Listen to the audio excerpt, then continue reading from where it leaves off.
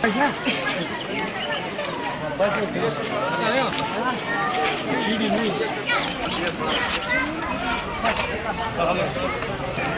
で。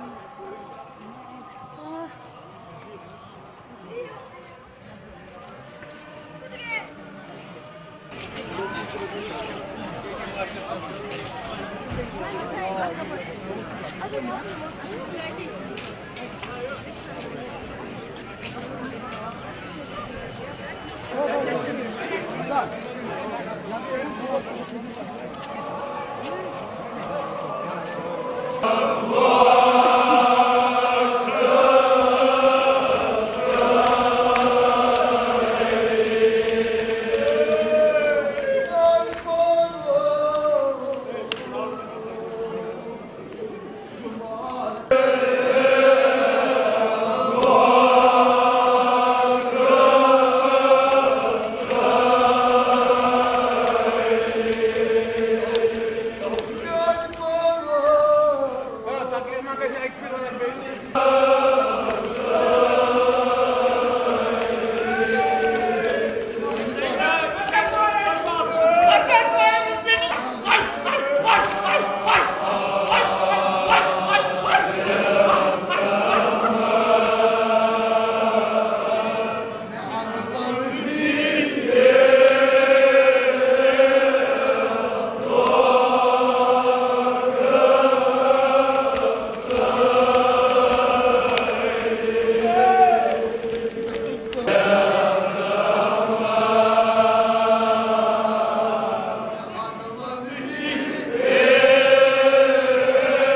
میں سوچتا ہوں کہ سب سے پہلے ہم مسلمان ہیں، ہم مسلمانوں میں یہ رہنا نہیں چاہیے تاثر دماغ میں کہ یہ شیعہ ہے سنی ہے میں ہمیشہ بچپن سے ان کے ساتھ پلا بڑا ہوں اور ان کے ساتھ ہمیشہ رہتا ہوں۔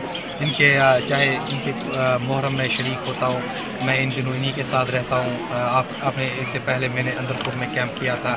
نوگاؤں میں کیمپ کیا تھا۔ اور میں ہمیشہ یہ ہمارے بھائی جیسے ہیں اور میں ان کو اپنے دل میں جگہ دیتا ہوں ہمیشہ۔ اور میں بچپن سے انہی کے ساتھ پلا بڑا ہوں اور یہ بھی ہمارے جب بھی ہمیں کچھ ہوتا ہے تو ہمیں شریک ہوتے ہیں۔ ہم ان کے غم میں شریک ہوتے ہیں، چاہے ان کے پاس چاہے ان کا کوئی بھی ہوتا ہے تو یہ ہمیں اپنے گھر بلاتے ہیں۔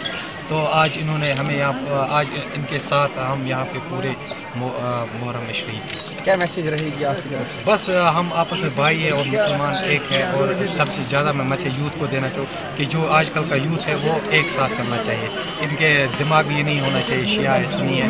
ہم سب آپس میں بھائی بھائی ہیں اور بھائی کے ساتھ دیکھیے آپ میں نے پہلے بھی کہا کہ یہ ہمارے محرم کے ایام ہیں اور یہ سلسلے مجالس کا سلسلہ جاری رہے گا تقریباً چالیس محرم تک۔ جب ہم اربعین حسینی مناتے ہیں، امام کا چالیسواں دن مناتے ہیں۔ آج اسی سلسلے میں یہ ہماری یہاں مجلس تھی اور ہماری یہ جو جلوس ہے، جلوس ازا ہے، وہ یہاں ڈانگر پورہ سے نکلا اور شاہت الپورہ میں ختم ہوگا جو جیسے پہلے بھی میں نے کہا ہے کہ یہ امام کی یاد میں ہیں ان کی اس شہادت کی یاد میں ہم سڑکوں پر نکلتے ہیں، جو انہوں نے شہادت دی اسلام کی بقا کے لیے اور اللہ تبارک و تعالیٰ کی خوشنودی کے لیے اور جناب رسول کے دین کو روز قیامت تک زندہ رکھنے کے لیے، یہی اسی کی یاد میں ہم یہاں جمع ہوئے ہیں۔ تو سر جو چوری کرنے کے واقعات بھی کشمیر میں پیش آئے، کیا آپ اس کے لیے مذہب کرتے ہیں؟ دیکھیے، یہ صحیح چیز نہیں ہے یہ جو جبرن یہ چیزیں ہو رہی ہیں۔ ہم تو ہر ایک چیز کے خلاف ہیں جو اس کی جبرن ہو رہی ہے چوٹی کاٹنا یا بے وقت یہ جو آج کل آئے دن حملے ہو رہے ہیں، جو سیکیورٹی فورسز پر حملے ہو رہے ہیں یا باقی جو انوسنٹس پر، جو اس کی زد میں آ جاتے ہیں، ہم تو اس کے بالکل خلاف ہیں۔ جو بھی جو چیز شدت، جو بھی چیز شدت کے حوالے سے استعمال کی جائے، ہم ہمیشہ سے اس کی مذمت کرتے ہیں۔ اور لوگوں سے اپیل کرتے ہیں کہ ان چیزوں سے گریز کریں اور کشمیر کی بحالی میں تھوڑا سا تعاون دیں۔ کیونکہ کشمیر بس بدقسمتی سے اب بیس سال کے عرصے سے زیادہ کشمیر میں حالات خراب ہیں۔ دیکھیے، پار والے تو اس کو ایک کھیل سمجھتے ہیں، لیکن جو خون بہہ رہا ہے، وہ کشمیری کا بہہ رہا ہے۔ کس کس حساب سے وہ کشمیریوں کے حامی ہیں؟ آیا یہی حمایت ہے کہ نہ کشمیریوں کا خون بہ رہا ہم انہی دنوں کے صدقے اللہ تبارک و تعالیٰ کی بارگاہ میں یہ دعا کریں گے کہ کشمیری سمجھے کہ ان کے ساتھ کھلواڑ ہو رہا ہے۔ وہ اپنے آپ کے لیے دیکھیں کہ صحیح کیا ہے۔ وہ